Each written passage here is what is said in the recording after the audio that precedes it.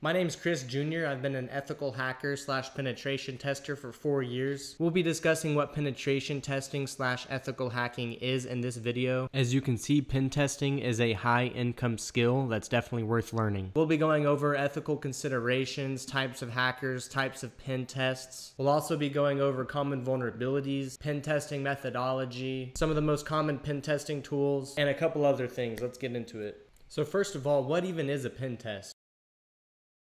A pen test, also known as a penetration test, is basically when a pen tester will do a simulated attack on a system, or another way to put that is they attempt to hack a system. Then they write a report about all the ways they were able to hack the network or the system that the pen test was performed on and give it to the relevant stakeholders, such as the development team or the leadership that requested the pen test. A pen test is similar to a vulnerability scan However, vulnerability scans just scan for vulnerabilities, and that's kind of the end of it. Whereas a penetration test, they are actually trying to exploit the vulnerabilities and see what an actual attacker could access. When you're a pen tester, you get to pretend to be a bad guy, hack into stuff, write reports, and you're not even responsible to fix things in most cases, just breaking them. There are some ethical considerations when doing legal pen testing. First of all, you always want to make sure there is written permission because you can go to jail if there was poor documentation or you do something on the pen test that you weren't supposed to do. Second, you have to respect privacy. You, you can uncover some pretty crazy things during pen testing and you're always want to keep it a secret. Sometimes it's company proprietary information. Sometimes you'll find a whole bunch of customer data, and you know, there's really an infinite amount of things that you can find. So make sure that you're exercising caution when you're looking at this information, not storing it anywhere where anyone else can see it, leaking it out to the internet, etc. Privacy is extremely important. A lot of companies might make you sign an NDA before you get testing. Now, besides the purely ethical hackers that get paid to hack things, what other kind of hackers are there?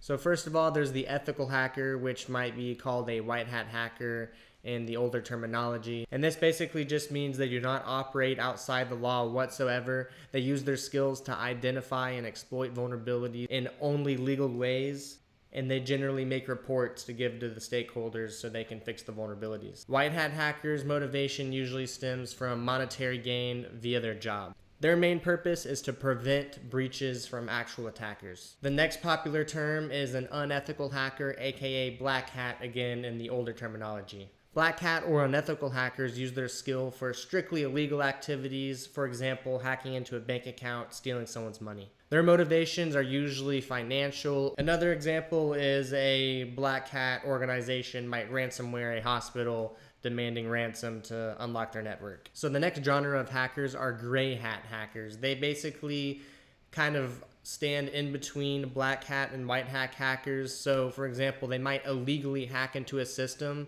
let's say a bank, but instead of stealing money, they're actually writing a report and submitting it to the bank. So technically they weren't supposed to hack into it, but they didn't do anything malicious and even reported something and helped everybody. These people's motives don't generally come from a financial standpoint. Usually it's just the thrill of hacking into something that maybe you weren't supposed to. So the next group we're talking about are hackers called hacktivists. These people are motivated by political or social causes. They usually use their skills to attack companies, government, organizations, or maybe even like a charity that they don't agree with. Then there's the state sponsored hackers, also known as Advanced Persistent Threats, APTs. But just a side note, not every APT has to be a state sponsored actor, but most state sponsored actors are APTs. But, anyways, state sponsored actors, these are people that are employed by the government to usually do cyber war on other governments. But they aren't just hacking governments, they could be hacking companies and the infrastructure of their enemy country. Their motivation usually lies in getting a leg up above the other country that they're potentially in cyber war with. This could be monetary gain, military gain, just really anything. And then lastly and least, there are the script kiddies. These are people that are just running tools that they found on the internet. They have no real knowledge about the underlying technology going behind it. And a lot of times they might not even know what the tool is exactly doing, but they're just running these security tools on the internet uh, maybe reading some documentation, maybe not, and just like hacking things in a really newbie, inefficient way. So now that we've talked about the types of hackers, let's talk about the types of penetration tests. And just to note, these aren't all of the possible tests. These are just the great bulk of them that you're going to find when you're out in the industry. So the first test we're talking about is an external pen test. This test is for testing all of the hosts that your company owns that's facing the internet. For example, if you can go into your web browser and get to your website, that means that your website is on the actual internet and that is included in the external pen test. External pen tests do not cover what's inside of your organization's network, it is strictly everything on the outside. This usually includes web applications, VPN gateways. Maybe there's some external like FTP service you use for your client so they can send and receive data securely from that. And you know, it could be a number of other things, but again, external means that you're testing everything that is on the internet. So now we'll move on to the second type of test, which is internal testing. Internal testing is when you are only focusing on what's internal to your organization's network. So, for example, that web application that we were talking about that's exposed to the internet is probably not going to be in scope for the internal test unless if it's also a part of the internal infrastructure.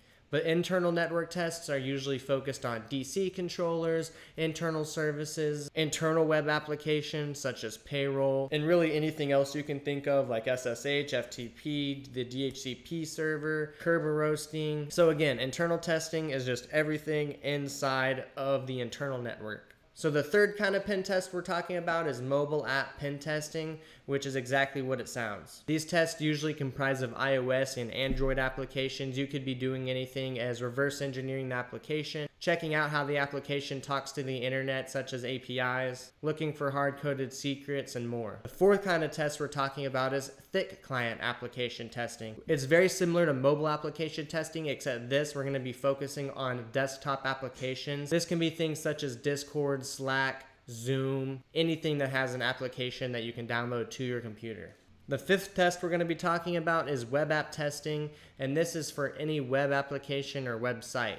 A web application pen test doesn't have to be only external or only internal. The sixth test we're going to be talking about is API pen testing. APIs are actually incorporated in mobile applications, desktop applications, web applications, and a whole bunch of other things. I want to say about 90% of web traffic in today's world is actually API traffic. So while you're performing a lot of these other tests, you're actually going to be testing an API already. But for API pen testing, you're actually specifically focusing on the API itself. The seventh type of test is a social engineering slash phishing campaign. So phishing is basically when you're sending emails to people trying to convince them to click on links and give you your credentials. Same with any type of social engineering. You're basically trying to trick someone into giving you something that you're not supposed to have.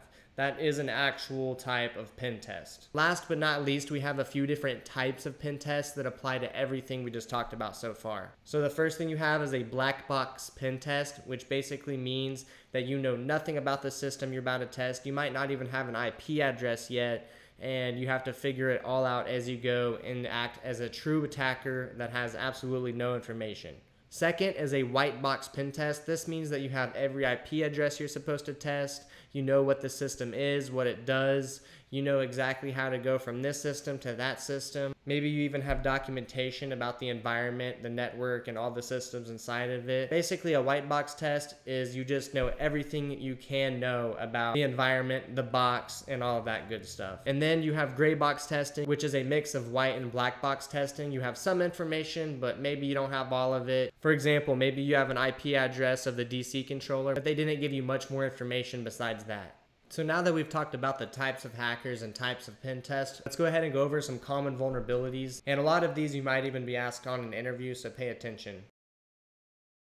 And just a note, we're only lightly going to touch on these vulnerabilities. If you want to learn more, I'm going to be making a video about all of the ones I talked about here that go in depth and have hands-on examples. So go ahead and subscribe and go see if I posted those yet. So the first one we're going to talk about is SQL injection. Even people that aren't hackers know about this one. It's one of the most popular examples. SQL injection happens when an attacker manipulates an SQL query to steal information from a database. And when I say steal information from the database, we're talking about emails, usernames, passwords, IP addresses, we're talking about and many other things. They can also inject new information into the database, corrupt the database. This sounds cool and all, but in today's time, SQL injections aren't as common as they once were, unfortunately. So without going into too much detail right here, we'll look at this example. Long story short, this attacker typed up a bad username that you can submit into a create an account form, which will then change the administrator password to something that he controls all by breaking the SQL query by carefully crafting a payload. So the next vulnerability we're going to talk about is cross-site scripting. It's also known as XSS. XSS allows an attacker to execute malicious scripts in a victim's browser, which can hijack user sessions, deface websites, or redirect users to malicious sites.